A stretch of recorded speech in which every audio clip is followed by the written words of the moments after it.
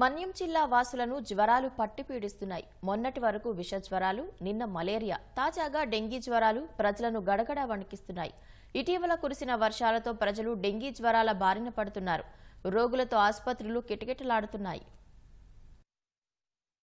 పార్వతీపురం మన్యం జిల్లాలో డెంగీ జ్వరాలు విజృంభిస్తున్నాయి. ఈ ఏడాది జనవరి నుంచి ఆగస్టు వరకు మలేరియా కేసులు అధికంగా నమోదయ్యాయి. ఇప్పటి వరకు రెండు వేల రెండు వందల అరవై నాలుగు మంది వివిధ ఆసుపత్రుల్లో చికిత్స పొందారు. ఆగస్టులో అత్యధికంగా ఆరు వందల ఇరవై మంది వ్యాధితో మంచం పట్టారు. ఈ నెలలో ఆ సంఖ్య కొంతమేర తగ్గింది. అంతలోనే చాప కింద నీరులా డెంగీ విస్తరిస్తోంది. జనవరి నుంచి జులై వరకు కేవలం ఇరవై ఒక్క మంది వ్యాధి బారిన పడగా గత నెలలో నలభై రెండు మంది డెంగీతో మంచం పట్టారు.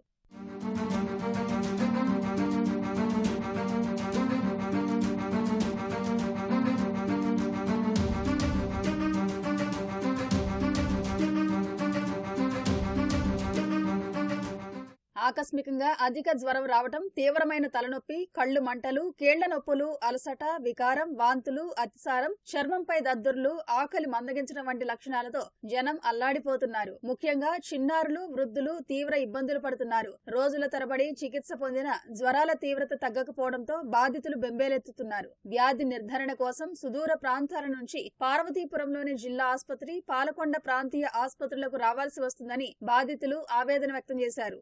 ఇంటికి ఒకళ్ళు తల్లి ఒకరు ఒకరు ఫస్ట్ ఒకరికి జ్వరం వచ్చింది హాస్పిటల్ తీసి నైట్ నుంచి వచ్చేసరికి పిల్లలు పెట్టి పిల్లలకి హాస్పిటల్ తీసుకెళ్ళేసరికి మళ్ళీ నేను పడిపోను ఒకరు పోతే ఒకరు మా కూలు ఆడితే కొండ ఆడితే నేపథ్యం లేదు. మనకి అక్కడ ఆస్తి లేవండి. గొప్ప కష్టాలు వచ్చేస్తున్నాయి. జ్వరాలు విపరీతంగా వచ్చేస్తున్నాయి. జ్వరాలు వచ్చిన తర్వాత మురుగుపోట్లు గట్ట మూడుకులు కూడా ఓసిపోని నేగనే పోతున్నాం తిరగనే పోతాము నన్నే పోతాను కూడా ఉన్నాం. తగ్గే పరిస్థితి లేవు టిప్ టిప్కి మనం మనిషి మనిషికి పదిహేను వేలు ఐదేసి వేలు అయిపోతున్నాయి. ట్రాఫిక్ పరిస్థితి ఇవన్నీ నలుగురికి మన నడిచి నలుగురికి ఐదు అయిపోయినాయి. ఇక్కడికి వచ్చి టూ వీక్స్ అవుతుంది.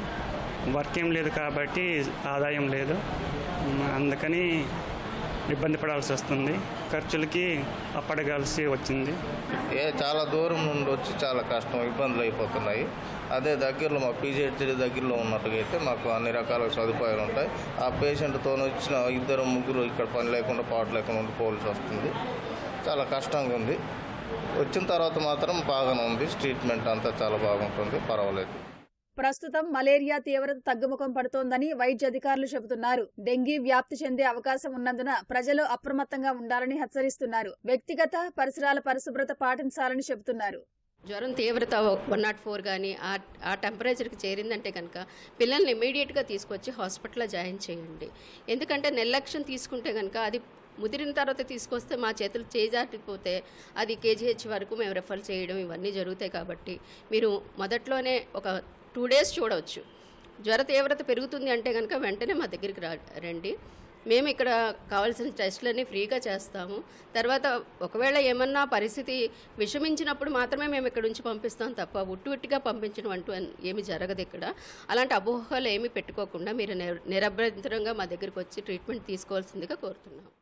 జిల్లాలో డెంగీ నివారణకు అధికారులు ప్రజాప్రతినిధులు దృష్టి సారించాలని మండల కేంద్రాల్లోనే నిర్ధారణ కేంద్రాలను ఏర్పాటు చేయాలని బాధితులు విజ్ఞప్తి చేస్తున్నారు.